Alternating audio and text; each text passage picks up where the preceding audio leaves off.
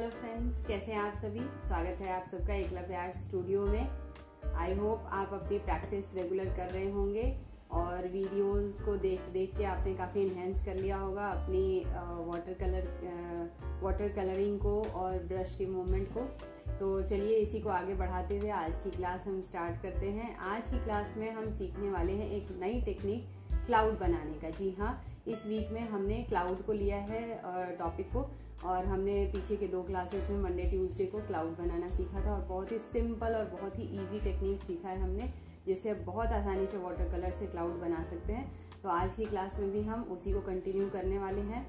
तो वीडियो को एंड तक ज़रूर देखिएगा, क्योंकि ये जब हम क्लाउड बना रहे हैं तो मैंने ये नोटिस किया है कि क्लाउड स्टार्टिंग में बहुत अच्छा लुक नहीं दे रहा है। और जैसे जैसे हम आगे की तरफ़ बढ़ रहे हैं तो वो काफ़ी डिफरेंट हो के बन के आ रहा है। तो स्टार्टिंग में आपको पेशेंस लूज नहीं करना है। आप एंड तक वीडियो देखिएगा तो काफ़ी रिज़ल्ट अच्छा रिज़ल्ट आपको देखने को मिलेगा, ठीक है? तो चलिए फिर वीडियो क्लास को स्टार्ट करते हैं। और उससे पहले एक रिक्वेस्ट है, अगर आपको वीडियोस अच्छे लग रहे हैं तो प्लीज़ लाइक कर दी, कर दीजिएगा। और मेरे चैनल को सब्सक्राइब कर दीजिए, अगर आपने अभी तक सब्सक्राइब नहीं करा है, ताकि आपको ऐसे ही रोज़ दिन नए नए टॉपिक्स पे जो हम वीडियो बनाते हैं, वो मिलते रहें।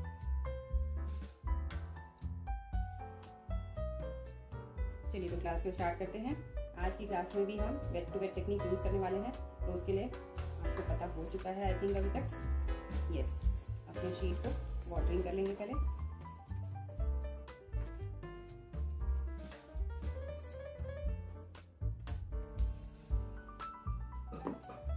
आज की क्लास में भी मैं फ्लैट ब्रश यूज़ करने वाली हूँ क्लाउड के लिए, और सेम फोर नंबर का ब्रश यूज़ कर हूँ, जो कल की क्लास में किया था, ठीक है? और आज जो हम क्लाउड बनाने वाले हैं, उसके लिए मैं ब्लू कलर यूज़ करूँगी। पिंक पर्पल जो कलर हमने यूज़ किया था, वही कलर यूज़ करेंगे। और साइड में हम ये येलो कलर यूज़ करने वाले हैं मीडियम येलो ठीक है? चलिए। और लास्ट में हम अक्रेलिक कलर यूज़ करेंगे वाइट का, जिससे हम क्लाउड बनाने वाले हैं। तो आज एक और नई टेक्निक ऐड हो जाएगी आज की क्लास में, कि वाइट को हम क्लाउड्स को हम वाइट कलर से अक्रेलिक वाइट कलर से फिनिशिंग देंगे। तो चलिए स्टार्ट करते हैं क्लास को। सबसे पहले स्काई कर लेते हैं ब्लू के साथ।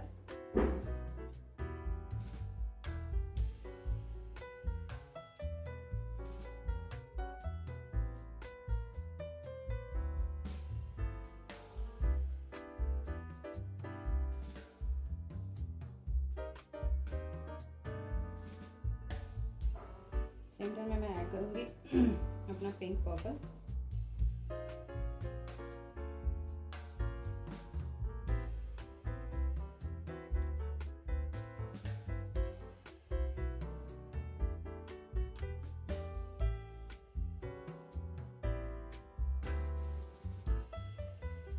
तो ये हमारा फ़र्स्ट कोट रेडी हो गया है।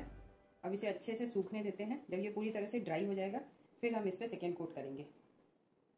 नीचे के पोर्शन में जो येलो वाला पार्ट है, इसमें थोड़ा सा मैं पिंक पर्पल ऐड कर देती हूँ।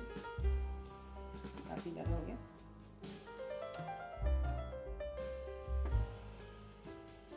इसे वाइप आउट कर सकते हैं आप टिश्यू पेपर से और किसी भी टाल से, अगर आपने साथ में टाल रखा हुआ है तो टॉवल के साथ कर सकते हैं। अदरवाइज़ टिश्यू पेपर हमेशा आपका हैंडी होना चाहिए। इस तरह की कभी भी मिस हैपनिंग होती है तो वहाँ पे आप उसे यूज़ करेंगे अच्छे से।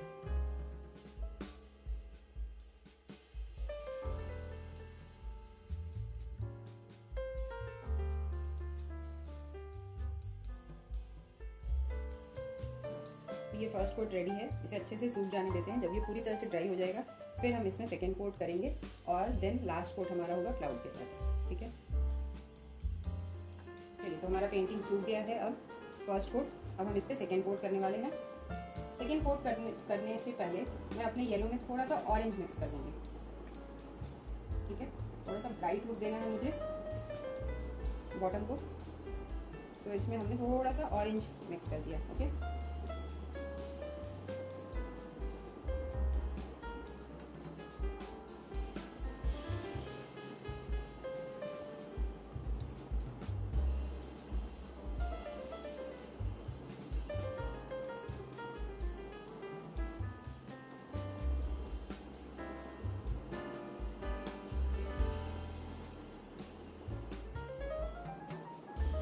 pink is very good enough so no need to do any changes in this same color continue करेंगे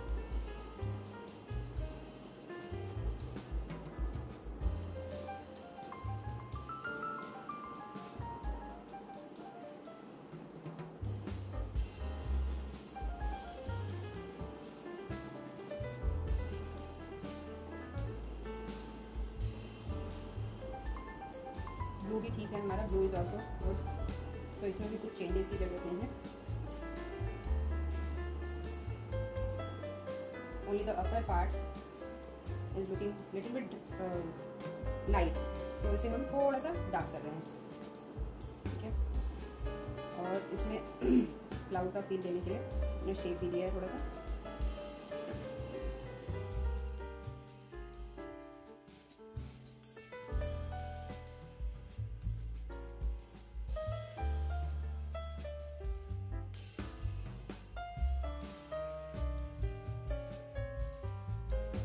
हमें चाहिए होगा अपना। राउंड ब्रश जो हम अभी तक यूज़ करते आ रहे थे तो मैंने अभी तक चार नंबर और छः नंबर का राउंड ब्रश यूज़ किया हुआ तो वही सेम मैं चार नंबर वाला अपना राउंड ब्रश यूज़ करूँगी।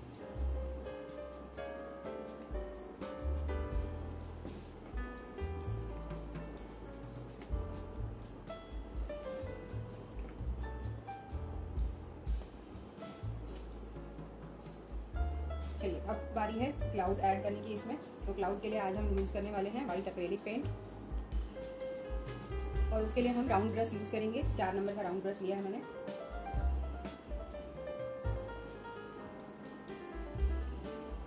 क्लाउड को आपको ऐसे सर्कुलर मोशन में क्रिएट करना है। ठीक है? मेक श्योर कि आपका क्लाउड जो है वो सर्कुलर मोशन में क्रिएट हो।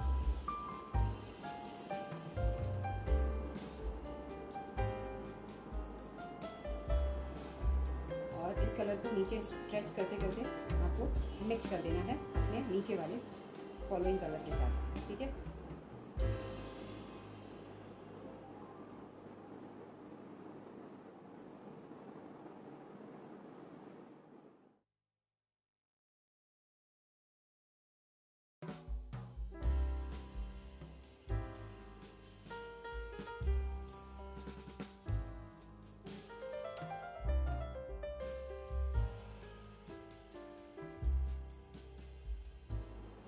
और एक अच्छी प्रैक्टिस आप कर सकते हैं इवनिंग में।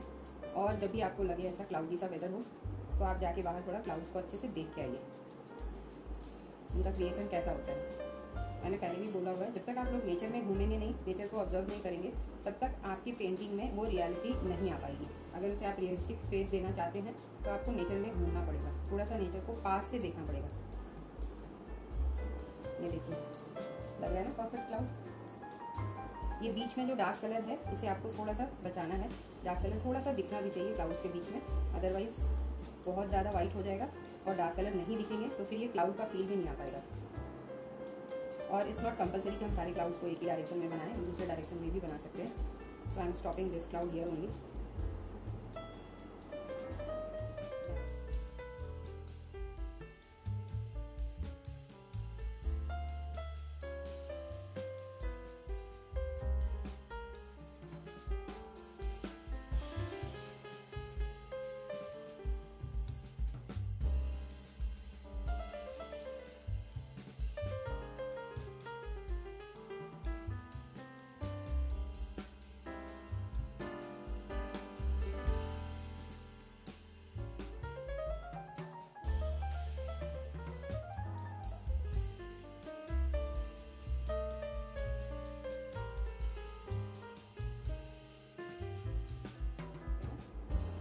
तो बस दैट्स इट क्लाउड रेडी है हमारा? देख सकते हैं आप। दे रहा है ना, बिल्कुल क्लाउड का लुक परफेक्ट तो कैसी लगी आज की क्लास मुझे उम्मीद है आज की क्लास भी बहुत अच्छी लगी होगी आपको।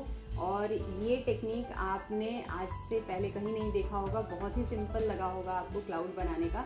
और हमेशा आप सोचते होंगे कि वाटर कलर के साथ बैलेंस करके कैसे इतनी अच्छी अच्छी पिक्चर्स और सीनरी बनाई जा सकती है तो आज आपके सारे डाउट्स क्लियर हो गए होंगे आई होप तो इसी तरह से हमारे चैनल्स पे बने रहिए नए नए ट्रिक और टेक्निक्स के लिए, जिससे आप वाटर कलर को हैंडल करना आसानी से सीख सकते हैं. तो चलिए फिर हम मिलते हैं कल की क्लास में एक नए टेक्निक के साथ, जहाँ पे हम क्लाउड बनाना सीखेंगे. Till then take care bye और उससे पहले वीडियो अच्छा लगे तो ज़रूर लाइक कर दीजिएगा। और अभी तक आपने सब्सक्राइब नहीं करा है तो प्लीज़ सब्सक्राइब कर दीजिएगा। Thank you so much for watching my video take care bye see you